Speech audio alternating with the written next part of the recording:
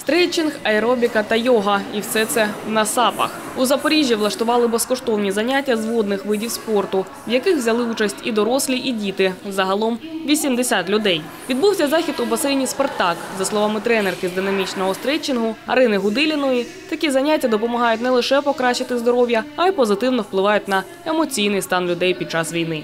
Уже как 4 года я практикую данное направление.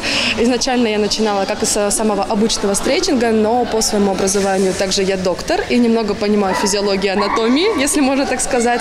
И из этого потом, когда ко мне начали приходить люди с разными особенностями, к примеру, там болит спина, не могу двигаться, болит тазобедренный сустав, что делать? И они приходили на обычные тренировки по стретчингу. Я понимала, что обычное направление стретчинга не может им помочь, потому что не весь стретчинг, он бывает полезным. И, соответственно, я начинала уже разбираться, каким образом обычным людям, которые могут приходить только на групповые тренировки, можно им помочь. Запоріжанка Анастасія Єрмолаєва сап-стрейчингом захопилась рік тому. Заняття відвідує із восьмирічною донькою.